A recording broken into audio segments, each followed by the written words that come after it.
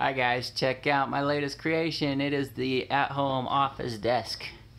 Um, corner floating desk with a bunch of cool features. Let me show you.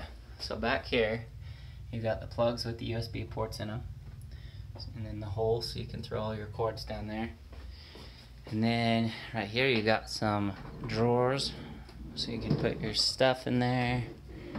Um, but the coolest part is right here little hidden compartment. Why? I don't even know, but look at that resin. Doesn't it look like fire? It's freaking awesome. And my brother is a gamer and I built this for him, so it has a little gamer symbol done in resin.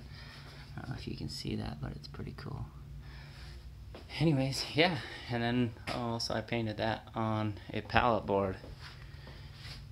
Just got a bunch of cheap pallets, tore them apart, and painted it because I'm obsessed with the moon because it's cool.